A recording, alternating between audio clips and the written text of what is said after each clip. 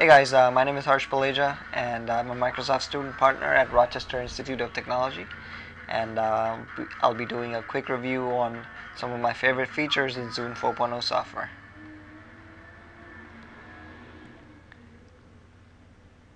As you can see here, the user interface is very clean and very very easy to navigate from one tab to another. Um, quick play is now the home screen which is which has easy access to recently added albums, um, songs, and it also shows you the history um, of uh, your last played songs and album. And uh, one other thing I liked about Quick Play is the pin section.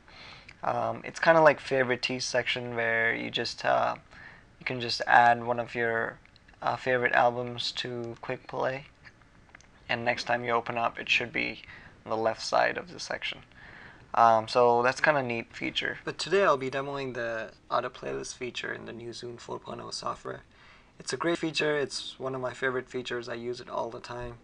So let's create a new auto playlist and um, here you'll have all these music filters which will help you determine what songs you want in your playlist. Um, let's say for example um, you want to create a list of 20 songs um, that you've never heard before.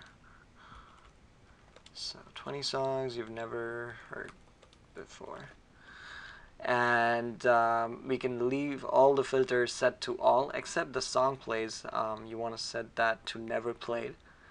And then set the limit to 20 or however many you want um, and arrange songs randomly. You can arrange them by um, album artist album song etc uh, but we'll keep it randomly so there's a new playlist created um, called 20 songs you've never heard before and uh, one of the cool things about this feature is uh, once you play one of these songs, it'll be removed from this playlist and another new song that you've never heard before will be added to this playlist. So that's that's a great feature. And uh, so let's look at another example of the auto playlist feature. Let's create a new auto playlist of songs by three of your favorite artists.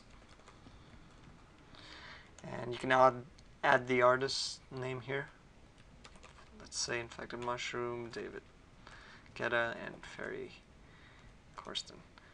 And um, let's say I only want the songs I like by those artists. So you can select the rating to be like. And let's limit the songs to 15.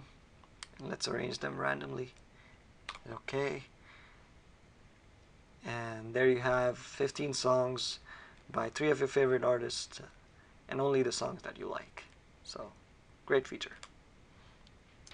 Another great feature I want to highlight is um, the mini mode and uh, this is definitely a great addition to the new Zune 4.0 software. Um, it has all the basic controls, um, play, pause, next song, um, the volume controls, etc. And this was something that wasn't available in the previous versions, so props to the Zune team for adding this new feature. So overall, I'm very impressed with the software. The user interface is great, the tabs seem much more organized, and uh, there are many other features that I didn't get to talk about much. Um, there's Smart DJ, which you guys should definitely check it out. Um, for more information, go to the Zune website. It's www.zune.net. Thank you.